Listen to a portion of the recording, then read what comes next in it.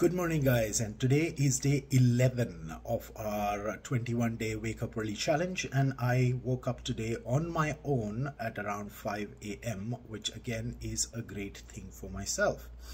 Um, I think I'm quite proud of myself. Uh, we are halfway, more than halfway through our journey of this 21 day challenge, and uh, it's been an incredible one so far. We've spoken about so many topics as we talk to each other every morning. Uh, and today is a very special day as I told you yesterday as well, because I am ready to travel. I am going to Dubai. Uh, yes, I have a flight in some time and I will be going to Dubai for the next week. Uh, so our morning challenges will continue, but in Dubai. Uh, I have been a frequent traveler since I think I was probably 23 or 24. Uh, I love traveling. It's an amazing experience just being out there, taking a plane, taking public transport, going out, seeing new places, exploring the country. I've been fortunate to have traveled uh, to many, many countries in the world, and uh, thanks to my work, and uh, meet so many people, so many friends uh, explore food, explore cultures, explore music, explore movies. Uh, travel makes you really independent because it teaches you how to live alone. You're alone, you're responsible for your own self. You have to be organized because if you're not organized, then you can't really travel effectively.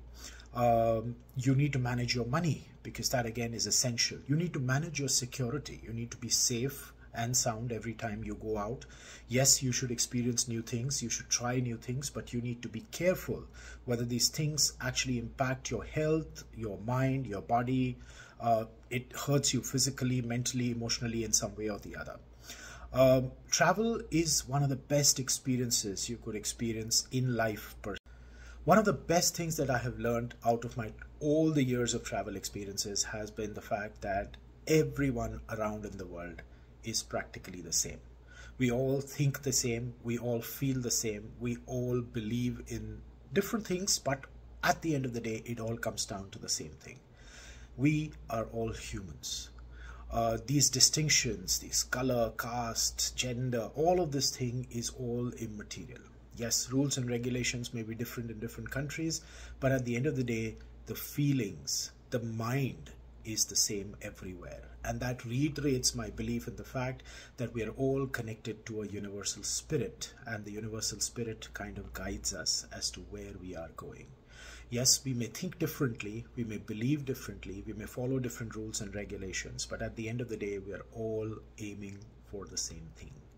And yes, it's the universal spirit that kind of binds all of us together. As humans, we need to learn to respect each other, care for each other, value each other wherever we can, so that we can all grow and live in harmony on this planet Earth.